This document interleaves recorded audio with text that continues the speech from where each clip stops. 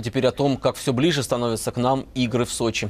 На этой неделе Олимпийская эстафета преодолела важный рубеж 100 дней со дня старта в Москве. Честь принять огонь зимних игр в этот юбилейный день выпала Брянску, куда его доставили из Орла.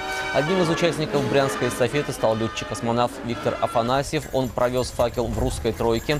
А на центральном стадионе города к встрече символа сочинских игр развернули самый длинный в мире рушник. Длина традиционного полотна 156 метров. Ну а в начале недели огонь Олимпиады прибыл в Липецк. Накануне празднования Старого Нового года его встретили 20 Дедов Морозов и Снегурочек.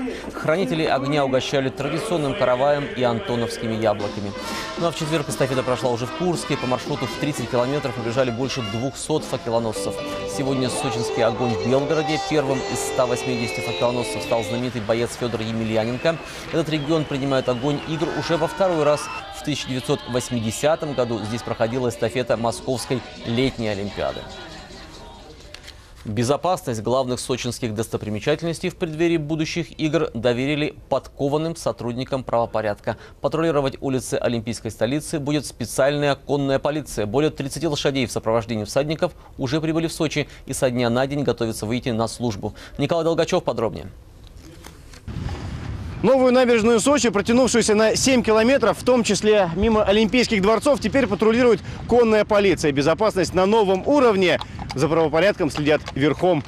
Полицейская кавалерия обходит улицы, прилегающие к Олимпийскому парку. Нужно привыкнуть к новой местности. Еще недавно патрулировали московские парки. Теперь командировка на юг, на зимние игры. Это конь Загар. Перенес акклиматизацию хорошо. Удивляется. Первый раз увидел море. Полсотни лошадей, служащих в полиции, до Сочи добирались несколько дней. Животных везли в специальных автотрейлерах. После приезда первым делом осмотр у ветеринара. Настроение не изменилось? Нет, конечно. С удовольствием ехали. Вышли, сказали, наконец-то мы приехали в Сочи. В конюшне бытовые условия на уровне. Жалование в виде овса и фруктов выплачивается конному составу регулярно. Бывают и премии. Кому-то нравится морковка, лошадь по имени Публика предпочитает сладкое. Любят угощения, как все наши друзья. Вот обязательно есть всегда у нас с собой сахарок для нее. У службы в МВД свои плюсы. Каждый день у лошадей свежая форма с государственной символикой, обувь, подковы. Кузнец проверяет ежедневно. Если нужно, обновит. Несколько сантиметров, по сути, гвоздь. Да, забивается, выходит наружу, откусывается Это не больно? и зачищается. Нет, это не больно.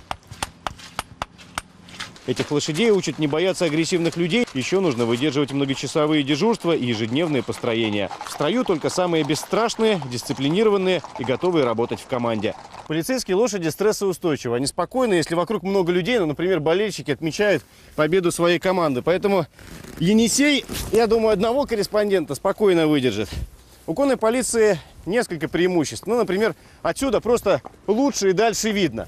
Во-вторых, конные всегда быстрее пешего. И в-третьих, ну, в случае чего, в помощь всегда есть одна лошадиная сила, а это немало. В Сочи с конными полицейскими туристы фотографируются. Всадники, как правило, не против. Но и служебные задачи при необходимости могут выполнить любые. Они должны нести активно службу, предупреждать преступления, административные правонарушения. На массах мероприятий, конечно, конный полицейский более эффективен. Во время Олимпиады полицейские кавалеристы будут отвечать за правопорядок на самых ответственных участках.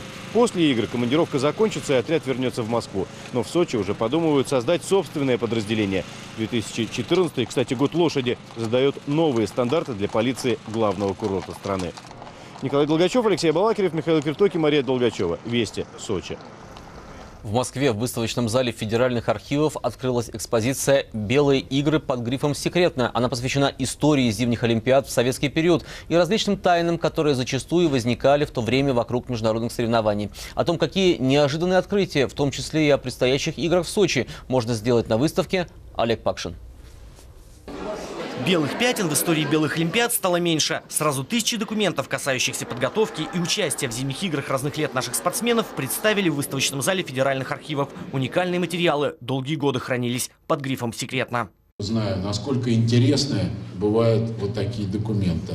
Сейчас у нас, конечно, меньше секретов при подготовке к Сочи. Мы стараемся э, максимально открыто действовать. Ну, а раньше таких секретов было больше. Главный и самый удивительный секрет в этом пожелтевшем, еще машинописном документе. Оказывается, идея провести зимнюю Олимпиаду в Сочи совсем не нова. Ее предложили при Горбачеве и даже утвердили на самом высшем тогда уровне. Все секретари согласились с тем, чтобы подать заявку на проведение Олимпийских игр 98 года в Сочи. И, очевидно, такая заявка была бы подана, но она должна была быть подана в 91-92 годах.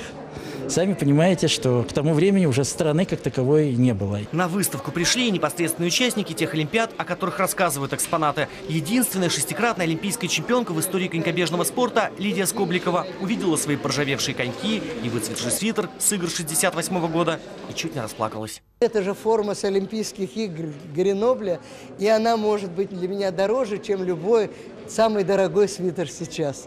Игры в Гренобле стали золотыми для другой, начинающей тогда советской спортсменки Людмилы Титовой. На первой для нее Олимпиаде 20-летнюю конькобежку не ожидали увидеть даже в пятерке финалистов. А она взяла сразу две медали. Серебро на дистанции километр и золото в забеге на 500 метров, обогнав принципиальных соперниц – американок. Вот эту фотографию я видела только единственный раз в музее в Лужниках.